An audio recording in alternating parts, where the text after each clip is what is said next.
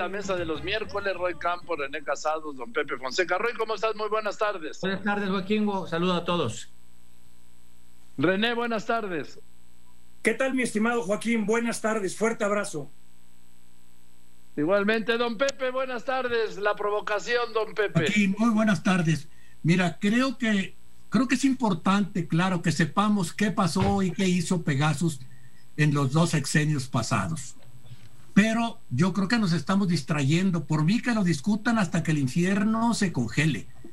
Pero lo importante es saber en qué marco legal están operando en este momento y en el resto, cuando menos de este sexenio, las agencias de inteligencia mexicanas, la civil y las militares.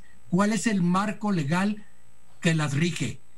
Cuáles son los funcionarios del Poder Ejecutivo a quienes rinden cuentas, cuáles son los funcionarios del Poder Judicial que supervisan que cumplan con la ley y cuáles son los funcionarios del Poder Legislativo que vigilan su comportamiento.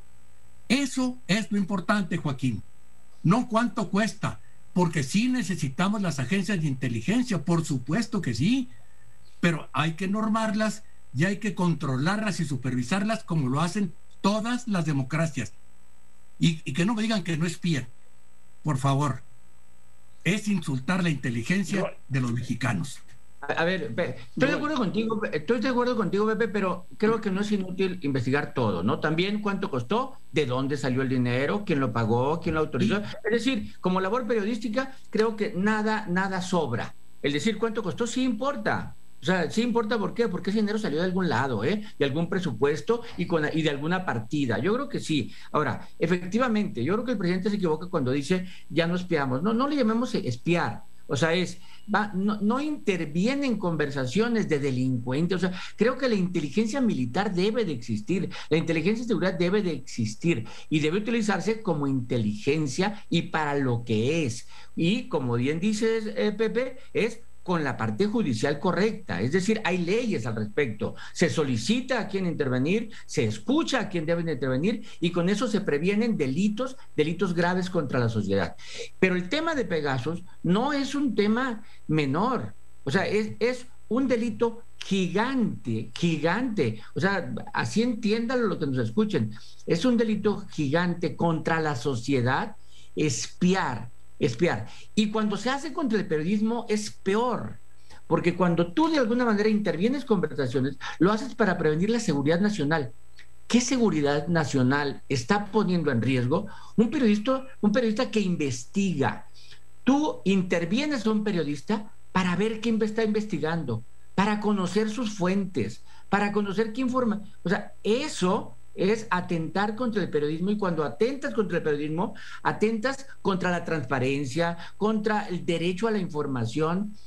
Esto, y no estoy criticando al gobierno actual, sino al anterior, porque esto lo que sabemos es que lo hizo el gobierno anterior. No, entonces aquí sí, yo creo que sí se debe de buscar para que no digan, estás atacando. No, no, no estoy diciendo el gobierno. El gobierno actual espero que sí esté utilizando inteligencia, espero que lo esté haciendo. El anterior no nomás parece que hizo inteligencia, sino que hizo abiertamente espionaje contra la sociedad. Eh, René. Joaquín, la privacidad es un derecho fundamental de la convivencia en libertad democrática. Sin ella, eh, bien sabemos, las democracias, las libertades y el Estado de Derecho se pervierten. Eh, el derecho eh, y la práctica de la privacidad es tu protección contra, contra los indeseables abusos de poder. Es un derecho imprescindible. En lo personal, no es por esencia político público. Ahora, ¿por qué esto es grave y hay que buscar el esclarecimiento? Porque por más allá que haya buena voluntad en el supuesto o en la verdad de que confiemos y creamos que este gobierno es diferente y que no es igual a los demás y que ya no se espía a nadie, a periodistas, a activistas u organizaciones sociales u oposición, este escándalo que se reactiva de manera indeseable pues demanda pruebas de esclarecimiento y de que no se continúe efectivamente con este tipo de prácticas ilegales. No solo de él, sino como mencionaste al inicio del noticiario, del noticiero, Joaquín, también de organizaciones o de empresas o de personas que están en posición de hacer uso de esta práctica absolutamente ilegal y antidemocrática y antiinstitucional sobre todo ahí donde no está reglamentada o debidamente regulada, como dice don Pepe. A ver, don Pepe. Mira, Joaquín, estoy totalmente de acuerdo que vamos a investigar el pasado, pero a ver, ¿quién nos garantiza? ¿Quién nos asegura en este momento, hoy, 21 de julio de 2021, quién nos asegura que este gobierno y sus agencias de inteligencia no están interviniendo también conversaciones privadas. ¿Qué manera tenemos de asegurarnos? No es un acto de fe, por favor. Es cosa de leyes y de marco jurídico como tienen todas las democracias. De eso estoy hablando.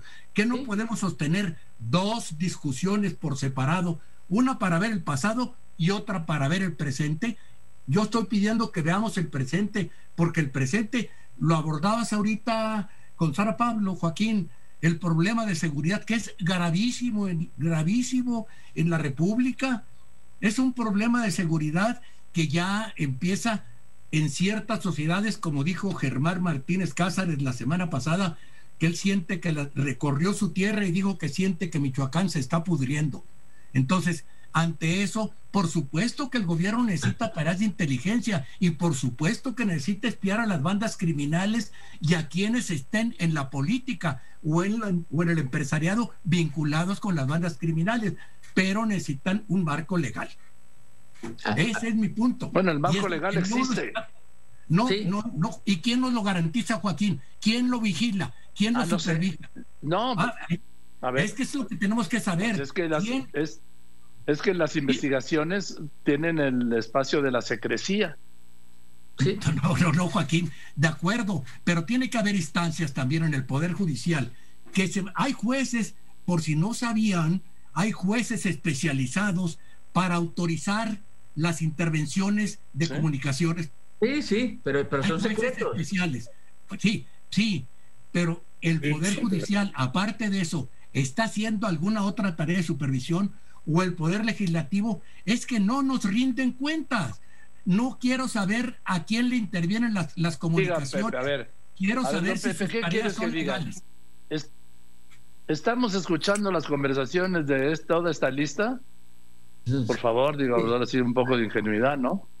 Eh, eh, Pepe, entiendo, entiendo eh, tu, desconfianza, la entiendo, pero así son las investigaciones. O sea, hay una ley, hay un poder judicial, el poder judicial autoriza y esperemos que se esté haciendo conforme a la ley y que a los que están interviniendo sean los que deben intervenir. Entiendo tu desconfianza, la entiendo perfectamente, pero como dice Joaquín, no es para decir, no, es que estamos espiando sin permiso a estos. Pues no, o sea, no, no, eso, eso, para eso hay un... Entonces nos vamos a enterar el próximo sexenio cuando haya otro... Tal vez, tal vez, pero, pero quiero... Este. Pero quiero recalcar algo que dices. Todo esto que decimos, que debe haber intervenciones de inteligencia, tiene mucho que ver con los con la inseguridad que está apareciendo. o sea, de veras, en todo el país ya no podemos ubicarla en unas, bien dices Joaquín, en cuatro o cinco estados, lo mencionó Carlos Pena ayer, se concentran prácticamente los delitos. Sí, pero actos de inseguridad, a ver, lo que vimos la semana pasada, Michoacán, eh, Zacatecas, el rescate en Reynosa, el rescate en Reynosa de un líder. No podían haber habido inteligencia de que iba a haber la intención de rescatar a un líder. la aparición del grupo El Machete en Chiapas. A ver, e, el que hayan aparecido tanta gente con tantos fusiles de varias comunidades acercaron. No había una inteligencia que esto podía pasar, ¿no? El secuestro, porque así le quiero llamar, de los agentes de la Guardia Nacional y del Ejército en Oaxaca. Son conflictos que se están dando, algunos son sociales, digamos, pero yo, yo coincido con el operador en no estar de acuerdo con ninguna autodefensa, con ninguna, pero entiendo la reacción de esos grupos ante la ausencia de Estado. O sea, porque hay regiones en donde no hay Estado. ¿no? Y esto se quejaban los de Chiapas de que el alcalde, la alcaldesa y el marido, que parece que es el que es el alcalde, estaban coludidos con la mafia y dice, ¿qué otra tenemos? Pues nos defendemos nosotros.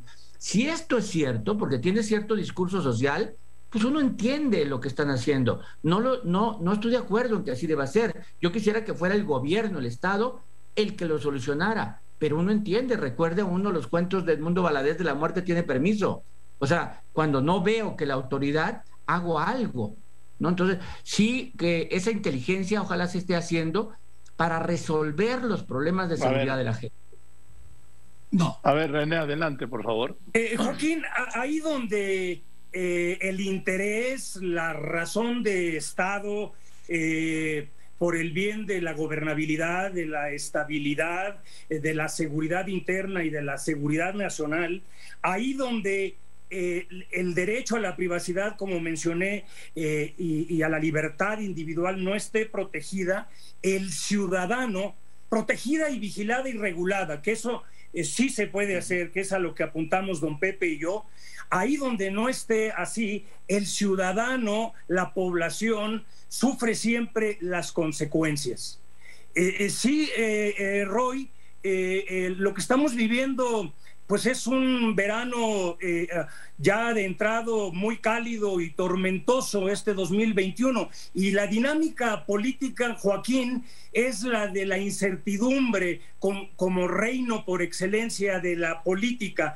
¿Por qué? Porque hay urgencia de resultados, porque en los predicados de la vida diaria la gente lo que está demandando y en muchos casos suplicando es que no haya ausencia de Estado, como menciona Roy, porque las grandes mayorías sí en lugar de mejorar sus condiciones de vida, y ahí está la estadística, los números y los indicadores y la realidad, por el contrario, la han empeorado. Esa es la realidad eh, eh, eh, trágica en mucho sentido que la mayoría de la población mexicana está viviendo, ¿sí? A esto se ha unado la inflación, a la problemática que, que, ya tenemos y eso pega y ha agrandado, como bien dicen también los datos, el aumento de la desigualdad y el aumento de la pobreza. Vivimos tiempos difíciles, tiempos de un verano tormentoso, Joaquín. Bien, tengo que ir a unos anuncios y regreso con la mesa del campo, René Casados, don Pepe Fonseca, a ver si le quieren entrar al tema de que, eh, porque esto del tema de Pegasus sí, es muy grave, pero es un tema que le interesa a una capa muy arriba, ¿sí? Nada más, y cuando se habla de espionaje, ¿Qué quiere decir espionaje? Quiere decir que están interviniendo los celulares, que están intervenidos los celulares, que han estado intervenidos pues desde que se crearon los celulares. ¿Por qué? Pues porque eso lo hacen todos los gobiernos, no solo gobiernos, lo hacen empresas privadas también. Ahí está el caso Villarejo en España, que era un jefe policíaco que hacía vender todas las grabaciones y la información que él del producto de su espionaje con los aparatos del Estado a particulares. Continuamos. Y bueno, vamos con las conclusiones. Roy, te escucho, por favor. A ver, a ver, Joaquín, mientras hablábamos efectivamente de Pegasus, que no a todo el mundo le puede interesar, o aunque le debería interesar a todo el mundo, ¿no? Hablamos de Pegasus, mientras hablamos de la inseguridad, que eso sí le pega a todo el mundo, estamos en medio de una pandemia. Estamos en medio de un rebrote ya evidente, de un rebrote que aumenta contagios eh, y de un rebrote que justifica las dudas que generó la información difusa sobre las vacunas. O sea, el que se quejen de que los medios se hayan cuestionado dónde había, dónde estaban las 19, a ver, no, no, no, los medios hicieron bien. Cuando la única solución a estos rebrotes es la vacunación, es la única que puede detener esta pandemia, y vemos la diferencia entre lo que ya ha llegado y lo que se ha puesto de vacuna, era natural que los medios cuestionaran dónde están esas 19 vacunas, ¿no? Entonces, el que se haya generado esa molestia de que los medios inventan, de, no, había 19 eh, millones de vacunas perdidas en términos informativos. Bueno, espero que se pongan rápido porque hay que salir de este problema, hay que vacunarse para el que no quiera vacunarse y hay que cuidarse incluso los vacunados. Gracias, gracias Roy. René, por favor, una conclusión. Joaquín, eh, yo suscribo que ante esta problemática, hasta el momento, y afortunadamente el gobierno de la cuarta T en los hechos, en la realidad, eh, no ha mejorado la existencia de los mexicanos entre las promesas y entre las expectativas y más allá eh, eh, de las buenas intenciones y más allá de las prendas personales y de las habilidades políticas presidenciales. Esa es la verdad empírica. Eh, a los gobernantes, como hemos dicho, a los gobiernos se les juzga por sus resultados y en todo caso también por sus promesas, no por sus buenas intenciones. Este gobierno está llamado al imperativo de gobernar la realidad, Joaquín, pero también no solamente con un gran despliegue de habilidad política, como digo, sino también de estricta racionalidad administrativa, gerencial, porque también hay un punto importante, como menciona Daniel Inerarity, eh, Joaquín, eh, que no se debe seguir pensando que el gobierno es una acción heroica. Eh, se trata de configurar también sistemas inteligentes, entre comillas, para la buena administración. Nos preocupa, dice Daniel Ineraiti, la mayoría de las veces más, describir a los culpables que reparar los malos diseños estructurales. Y yo considero, Joaquín, que ahí está mucho de la cuestión. Gracias, Joaquín. Fuerte abrazo a todos. Gracias, René. Buenas tardes, don Pepe, por favor. Mira, Joaquín, los problemas de seguridad no se los podemos cargar todos al licenciado López Obrador, estoy de acuerdo, pero son el resultado de que todos los presidentes de este siglo, incluido el presidente López Obrador, no han construido una política de Estado en materia de seguridad. No hay continuidad. Ninguno de ellos ha buscado un acuerdo político entre los partidos para decir, esta es la política para asegurarle y darle seguridad a los bienes y vida de los mexicanos. Todos son culpables de la inseguridad.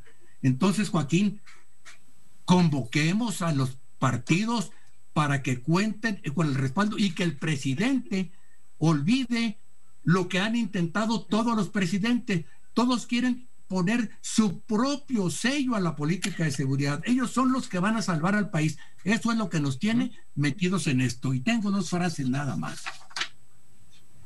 Una gracias, don Pepe. Muchas gracias. A ver, te voy a decir una frase. decir tu frase? Una rana en un estanque no sabe que existe el mar. Ándale. A ver, explícame. el Ah, Sí, porque ya fue demasiado para mí en esta, Es un proverbio japonés. Gracias, don Pepe. Okay. Sí, pues está bien, sí, sí, claro. Mi, cultura japonesa es muy amplia, claro. Gracias, don Pepe.